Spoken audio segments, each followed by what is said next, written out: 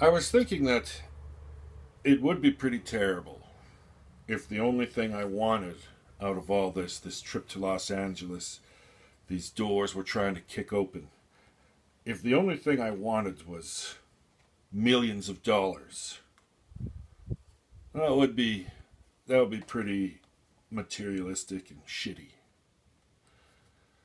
I uh, in the early 2000s, in the early aughts, as they're called, uh, I was I was making a, a reasonable living off of my artwork, doing uh, magazine covers and book illustrations.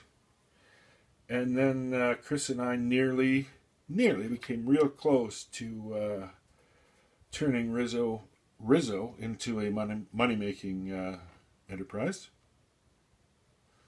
And that's what we're trying to do again. We're just trying to. Wouldn't it be great if we could all make our living doing the things we love? I don't want a million dollars. I don't want millions of dollars. I just want to earn a good living off of my artistic output. Maybe even a great living so that I can put food on the table, lots of food, fine steaks,